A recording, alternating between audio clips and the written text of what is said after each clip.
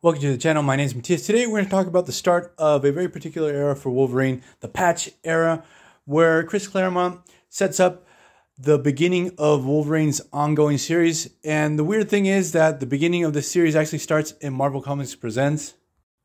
Now, for those who don't know, Marvel Comics Presents was a very interesting anthology series. Each issue would have four stories. And on one side, you get to see a lot of really obscure characters get a spotlight put on them. And on the other side, some of the stories would be really choppy because they would be cut up in many issues. so the story starts off, we have Wolverine arriving to Madripoor. He's looking for an old associate of his called McDonald. His name is not McDonald, that's my bad. It's O'Donnell. The thing is, he arrives to the legendary Princess Bar looking for his friend.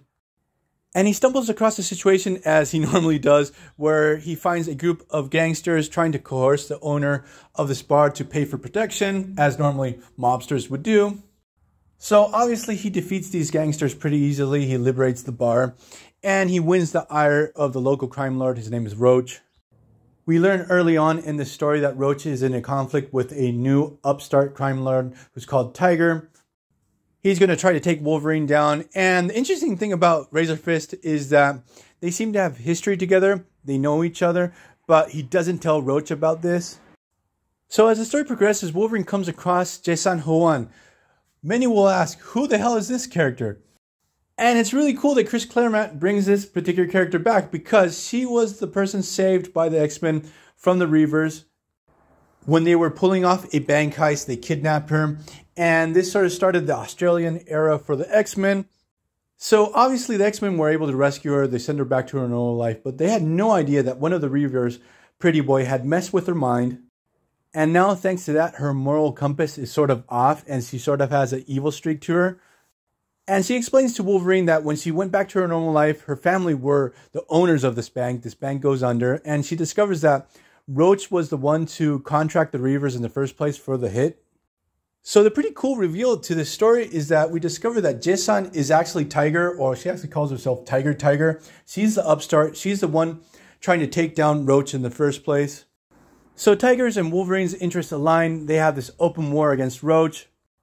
Obviously, Wolverine's going to have a couple battles against Razorfist. The first one, he almost gets killed because back then his healing factor isn't as good as it is now. The second battle is where Wolverine comes out on top. And at the end of the story, Wolverine and Tiger are able to depose Roach, and Tiger Tiger becomes the new crime lord to Madripoor.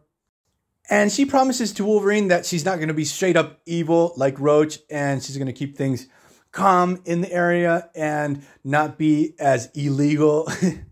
so Wolverine decides to stay in Madripoor and he's going to keep a close eye on Tiger Tiger just in case if she ever goes off the rails, he's going to take her down. But they still have this budding relationship between both of them. So, as I said earlier, this starts the patch era of Wolverine where he doesn't use his normal costume because him and the rest of the X Men were considered dead after their battle against the adversary.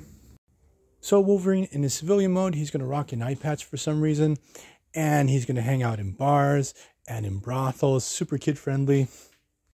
And in superhero mode, he's going to rock a black costume with a red belt. And the really weird thing is the mask that he uses.